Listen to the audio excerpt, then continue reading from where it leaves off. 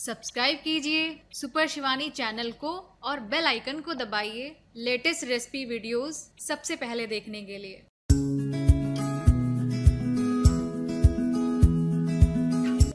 दोस्तों, मैं हूँ शिवानी। आप देख रहे हैं मेरा चैनल सुपर शिवानी। आज मैं बनाने जा रही हूँ नीर डोसा नीर डोसा खाने में बहुत ही लाइट और बहुत ही टेस्टी होता है। यहाँ पर नीर का मतलब है पानी, यानी कि आज मैं आपको पानी वाला डोसा बनाना बताऊँगी। तो चलिए इस नीर डोसा को बनाना शुरू करते हैं। नीर डोसा बनाने के लिए मैंने लिया है दो कप चावल, जिन्हें मैंने अच्छे से धो करके दो घंटे पहले भिगो कर रखा था। आप कोई भी राइस ले सकते हैं। मैंने यहाँ पर बासमती राइस लिया है।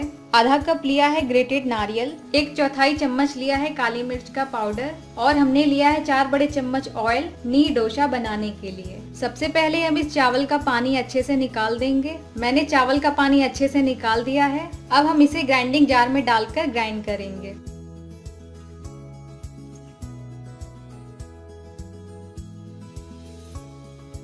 अब हम इसमें ग्रेट किया हुआ नारियल डालेंगे। थोड़ा सा पानी ऐड करेंगे। अब हम इसे ग्राइंड करेंगे।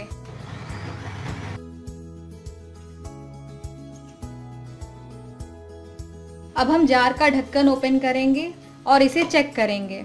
अभी ये सही से नहीं पिसा है। अब हम इसमें थोड़ा पानी और ऐड करेंगे। और इसे कवर कर देंगे।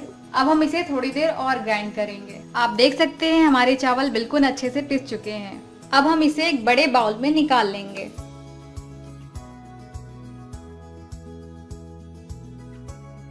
क्योंकि हमें नीर डोसा बनाना है, नीर का मतलब होता है पानी। और पानी वाला डोसा बनाने के लिए हमें इसमें पानी ऐड करना पड़ेगा। अब हम इसमें पानी मिलाएँगे। अच्छे से मिला देंगे।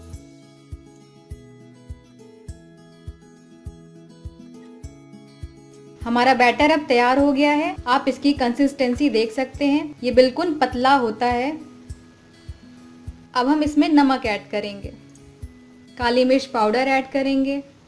अब इसे हम अच्छे से मिक्स कर देंगे।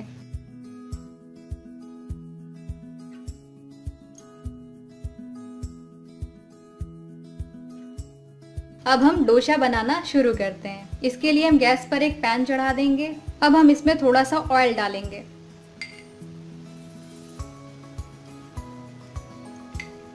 और इसे अच्छे से फैला देंगे। अब हम बैटर को अच्छे से चला देंगे। फिर इसे एक बाउल में निकाल लेंगे।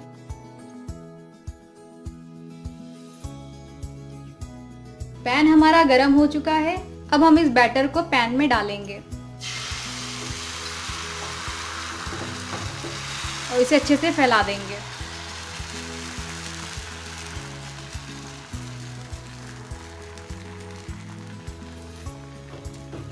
अब हम इसे थोड़ी देर के लिए कवर कर देंगे। अब हम इसे चेक करेंगे। हमारा नी डोसा तैयार हो गया है, अब हम इसे निकाल लेंगे। इसे इस तरीके की छन्नी में ही निकालेंगे।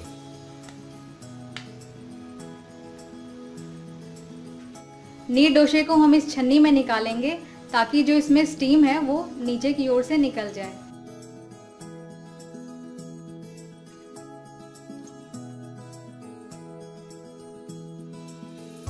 अब हम इसे कवर कर देंगे। अब हम इसे चेक करेंगे। नीर डोसे को हम एक ही साइड से ही पकाते हैं। डोसा हमारा रेडी हो गया है। इसी तरह से हम बाकी भी बना लेंगे।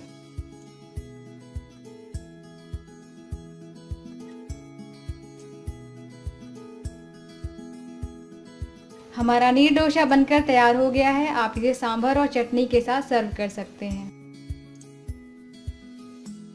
अगर आपको मेरा वीडियो अच्छा लगा हो तो मेरे वीडियो को लाइक करें, अपने फ्रेंड के साथ शेयर करें और मेरे चैनल सुपर शिवानी को सब्सक्राइब ज़रूर करें। सब्सक्राइब कीजिए सुपर शिवानी चैनल को और बेल आइकन को दबाइए लेटेस्ट रेसिपी वीडियोस सबसे पहले देखने के लिए।